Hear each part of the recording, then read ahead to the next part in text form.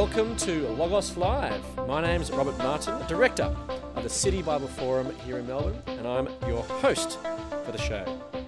Logos is Greek for word or message, and Logos Live seeks to engage the Christian message before a live audience at lunchtime in the CBD of Melbourne. And do we have a live audience here today? Are they alive? Is there a couple of yes? We also aim to have a little bit of fun. Who said exploring the big questions of life shouldn't be enjoyable? Now, modern Australian culture is influenced heavily by Christianity. The Christian message dominates the history of Western civilization, and the birth of Christianity can be traced to that first Easter week. It's known as the week that changed the world. And today, we're speaking with someone who does believe in the Easter story, the Reverend Tracy Lauersen. Now, Tracy is the Associate Vicar of St Hilary's Anglican Church in Kew and is the Director of the Peter Corney Training Centre. Formerly in the corporate training field, she has worked in school chaplaincy and for various churches. And Tracy is also the recipient of the Victoria's Premier's Award for Excellence in Multicultural Affairs for her work in developing a Sudanese refugee tutoring program. Please now welcome Tracy Lauersen. Yep, come up here. Well, welcome, you. Tracy. I'm glad that you could join us here today. Thank you. Now, you've been working in a church for a long time and have been a Christian believer for many years. Can you tell us what convinced you to become a Christian in the first place? Great question. Uh, I, when I was a teenager, a friend at school invited me along to her church, her youth group, and I went there uh, from time to time over a number of years.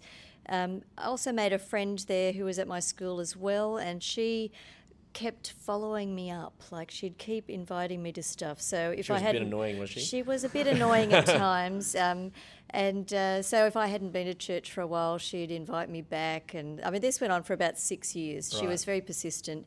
Um, she was very successful, I have to say. I'm, I'm the godmother of her daughter, and uh, we've been solid friends for decades and decades. But at the time, she was just someone who um, cared enough to keep inviting me in to hear the message about Jesus.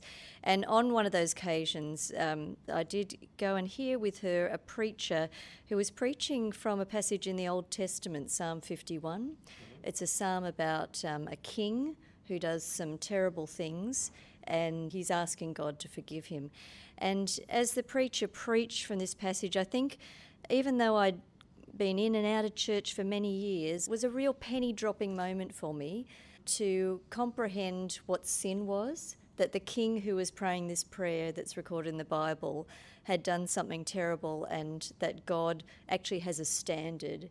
The king hadn't achieved it. And as I reflected on my own life, I thought, uh, you know, I have to acknowledge that the life I am living is not one that God would be happy with.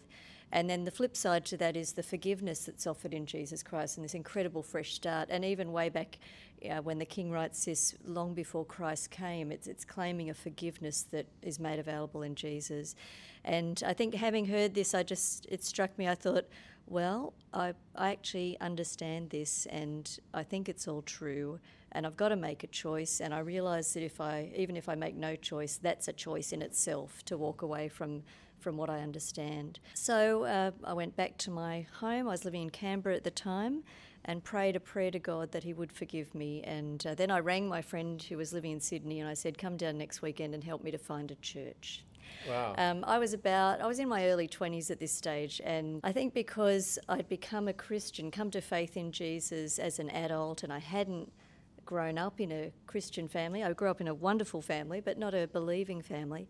And I was just struck with how little I knew about the God that I'd put my faith in. So, pretty quickly, I got this idea that I could take myself off to Bible college and study for a few years. And I did that about a year and a half later. And here we all go. Boots I- and all. That's You right. Boots and all. You want to make right. a decision. So it wasn't simply that you made the decision to appease your friend. Oh, well, finally, I'll just do it to, to get her off my back. No, but I'm grateful for her persistence, and uh, it actually encourages me when I, you know, invite my friends to church and they go no, and I think, in my mind, that's such a big deal. In their mind, they've forgotten it in half an hour, you know. That so I'll keep being persistent. Right, okay.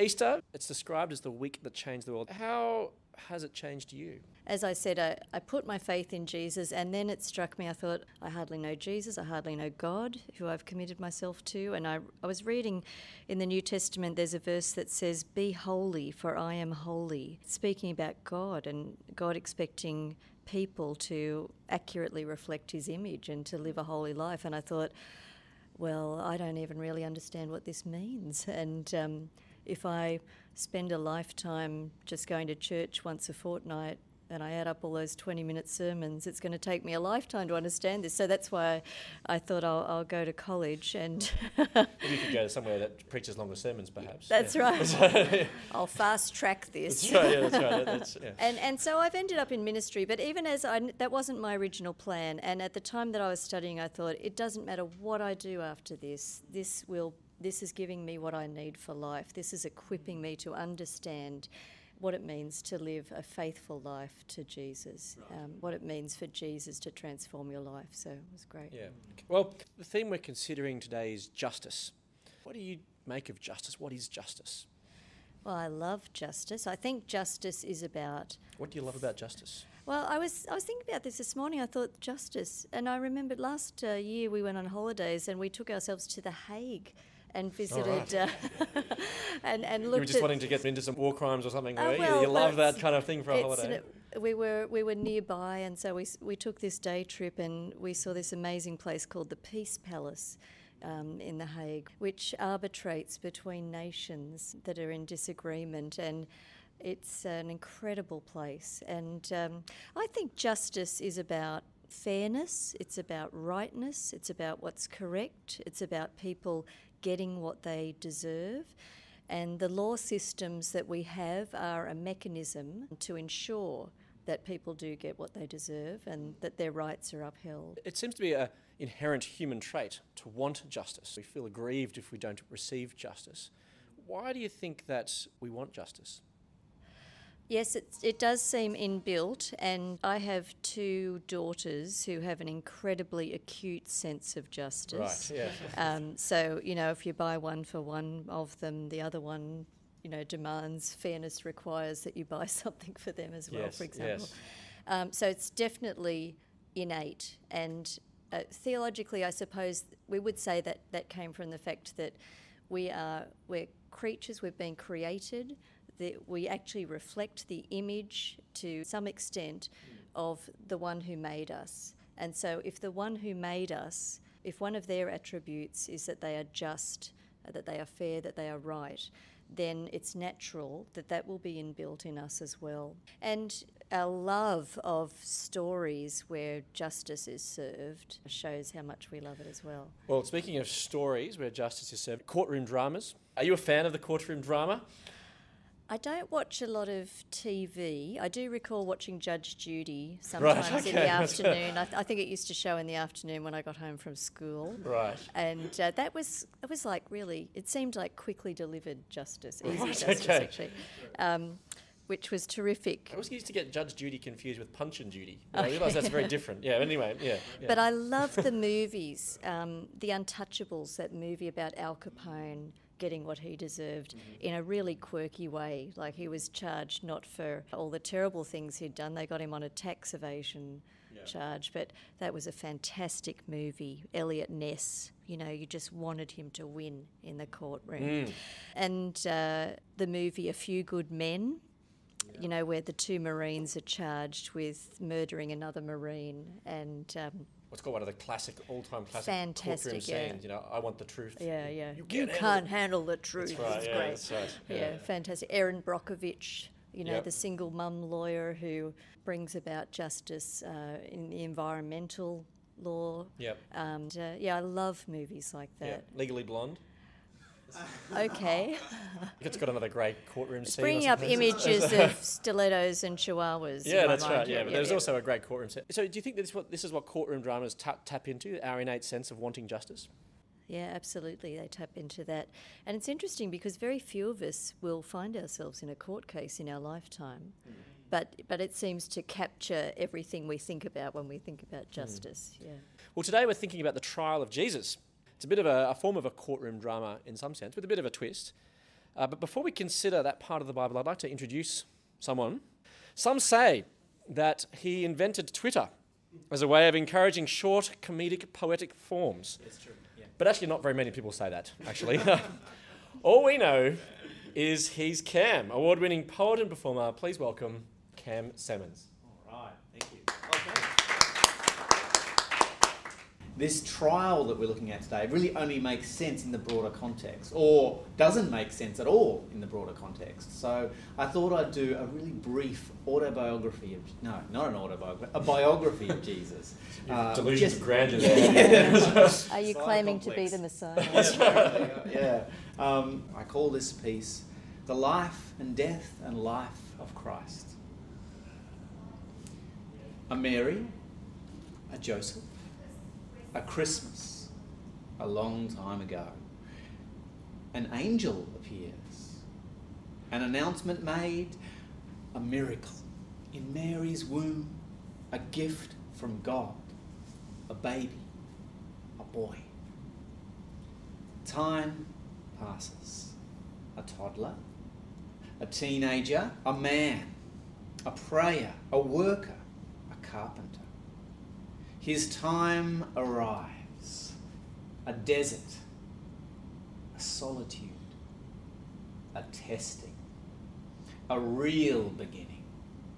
Jesus, a body healer, a sin forgiver, a kingdom preacher, a toucher of the sick, a friend of the hated, an insider for the outsider, a table turner, a water walker, a storm calm finder of the lost, a firster of the last, a lover of the least, a giver of life to others, a giver of life, his own. A kiss, a betrayal, a trial, a farce, a lie, another, another, stripping, whipping, ripping lie a sham, a silence, a conviction, a cross, a nail, a thorn, a crown, a cry. It is finished. A death. A tomb, a rock, a day, another, another, an emptiness, a hopelessness, a stirring, a rolling, an opening, Jesus, an emptying, a hope, an angel, a proclamation. The Lord is arisen faith, a hope, a love, a salvation. Amen. So, that's my little overview of the life of Christ. So it's uh, Luke chapter 23, uh, going from verses 13 through to verses 25. Pilate called together the chief priests, the rulers, and the people, and said to them, you brought me this man as one who was inciting the people to rebellion. I have examined him in your presence and found no basis for your charges against him. Neither has Herod, for he sent him back to us. As you can see, he has done nothing to deserve death. Therefore, I will punish him and then release him. But the whole crowd shouted, Away with this man! Release Barabbas to us! Barabbas had been thrown into prison for an insurrection in the city and for murder. Now, wanting to release Jesus, Pilate appealed to them again. But they kept shouting, Crucify him! Crucify him! For the third time, he spoke to them. Why? What crime has this man committed? I have found in him no grounds for the death penalty. Therefore, I will have him punished and then release him. But with loud shouts, they insistently demanded that he be crucified, and their shouts prevailed. So Pilate decided to grant their demand. He released the man who had been thrown into prison for insurrection and murder, the one they asked for, and surrendered Jesus to their will. Tracy, your thoughts, reactions to Cam's poetry there? Yeah, I love that there, there were kind of a couple of beginnings and um, a number of things that Cam was talking about uh, things we read, we have to read between the lines of Scripture to find them, like Jesus, his childhood, his adolescence, and those sorts of things. Um, so that was lovely, and it, it was a Twitter-esque, very speedy summary of um, Jesus from birth through death through resurrection. As I was listening to a lot of what Cam was saying about Jesus, the healings and the compassion and so on, and I'm, I'm thinking from the perspective of trial, you listen to that description of the man and you think it's impossible to understand why he was killed on that basis. You know, from our perspective, we think this was a great man. Yeah. This was a miracle worker. Um, you know, and yet and yet he was so hated uh, by the Jewish leaders and condemned to, to, die on a cross. So maybe we'll just think a little bit about this section here. Jesus has been arrested by the religious leaders, taken to Pontius Pilate, who's not an aeroplane pilot, I've discovered, uh, but the governor of the region. And the passage sort of has three elements, doesn't it? There's the charge, the trial, and then the punishment. So the charge against him, this was brought by the religious leaders. Why would they want him dead? As, as you've said, like he was so good, did so many amazing things. Why would they want him dead? Mm, he was an incredible threat to them, and it's interesting the charges that are brought against him. They say when they take him to Pilate that he has subverted the nation, opposed payment of taxes to Caesar, and claims to be Messiah, a king. Now, what they were really concerned about was his claim to be Messiah. And the Messiah was literally the anointed one, um, but the common phrase for the Messiah was king. It was the person, uh, king descended from King David's line. Um, that was, and they were ex- they were waiting on um, a king that God would send to free them. Mm-hmm. Um, so when Jesus comes and he claims to be the Messiah, that's an incredible. It's an incredible claim.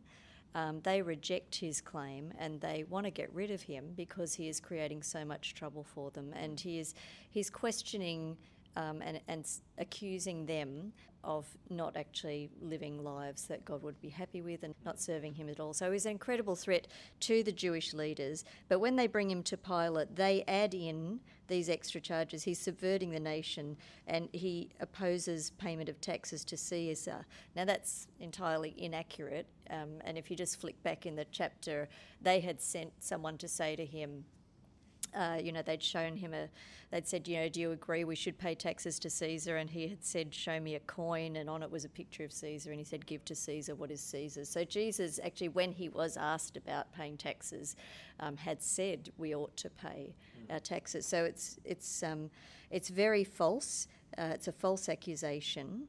Um, but it's one they're trying to get the interest of the Romans to, because they, they want the Romans What's to right? crucify why, why else him. would a Roman? Why, I mean, so, Yeah. so what if he's the Jewish Messiah? Yeah, yeah. like it doesn't And that, that was a really threat. That was a threat to the Romans as well, because um, because the Romans considered their leader to be God, and you weren't allowed to claim to be Mm. like God and to accept worship. So there was a bit of that. I suppose um, that's why they've added in. He claims to be a Messiah, Yeah. a king. Yes, that's so, right. i.e., this is a threat to you yeah, yeah. in terms of your power and authority and so Yeah. on in the land. I suppose it also raises the issue that if he wasn't actually the Messiah, then they're completely justified in making these claims. But the problem comes in if, if he actually was. When you think about Jesus and his claim to be Messiah, if you read through the whole all the Gospels, um, he was very careful about what he said about himself, uh, particularly publicly. And some people will say, well, where did he actually claim to be Messiah?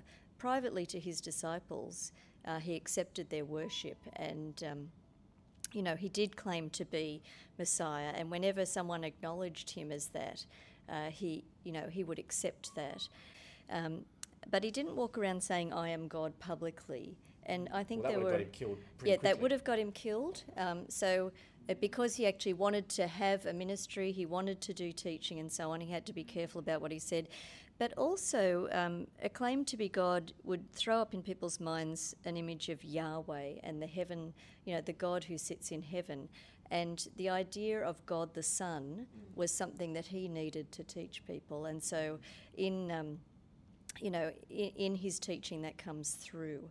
Um, and that was why his language is a little bit different to the language that we use today. Well, let's now consider the trial itself. And uh, Kangaroo Court has been described as a, a mock court in which the principles of law and justice are disregarded or perverted. Now, I thought it'd be appropriate to bring up an expert witness. So we've got uh, Ray Turns, he's a regular at our Logos Live events. He works as a professional lawyer. Um, maybe, Ray, what do you make of the trial of Jesus? Was proper legal protocol followed? Clearly, it wasn't. Uh, I think you, you said kangaroo court, and I think Cam described it as a farce. I think a farce is pretty accurate. Yeah. I think kangaroo court is generous. Right, okay. why, why, why, why generous? Well, uh, he's on trial for his life. He, he should have had a lawyer to start with. Oh, yeah. so you could recommend some, I suppose. Yes. Um, but also, he's actually found not guilty. The Yeah. Pontius Pilate comes back and say, I, I, find this bloke not guilty of the charges. Mm. It's contrary to any known legal system that you punish someone when you've found them not guilty. Like, Mm. it's just Mm. wrong. I, I think this was trial by mob, Yeah. not by a court. No, thanks very much, Ray. That's very helpful. Yeah, it's like innocent, innocent, but I'll kill you for it. yeah. yeah, if you, if you read the account, it you know he was declared innocent by Pilate. I find no basis for a charge against this man. He Yep. says. So if you like, that's kind of like the first little trial, and Jesus is found to be innocent. Then he sends him to to Herod Antipas in Galilee, uh, who who uh, sends him back to Pilate. Pilate once again says, "I can't find a reason." Um, the crowd ask him to release Barabbas, who was much more of a threat to the Romans than Jesus was. Uh, he was a violent revolutionary. Um, and in the end, he says, I-, I found in him no grounds for the death penalty, but in the end, their shouts prevail. So the decision that Pilate makes is to pacify the crowd. It's not about justice, it's about being allowing himself to be swayed by public opinion um, and his desire. The, these are people, these are his subjects. He wants to pacify them, so he does something that he, he knows is unjust. Would it be too cynical to suggest that he's a typical politician? he makes a political decision, that's for sure. This says so much about um, the value of a human life in the first century as well. Uh, the whole, the way the, the trials were conducted, the way that Jesus was mocked and not represented, no one really cared. But there's also a certain irony with this guy Barabbas, who's they want him released, even though he's a known murderer and leader of an insurrection. Yes, so the one that was guilty Is is set free, free. and the one who was innocent is the one that is punished uh, for a crime that he didn't commit. Um, but there's an irony there too when we think about um, salvation and the story there, which is the story that um, we are the guilty, and yet we are the ones that get to go free.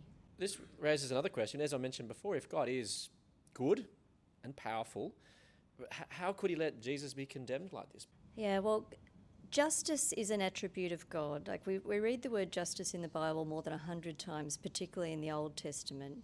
But while we often think of justice as fairness, um, God's justice is always about what is right. And it's also mixed in with his mercy. So sometimes justice leads to punishment and wrath, but other times mercy plays a significant role.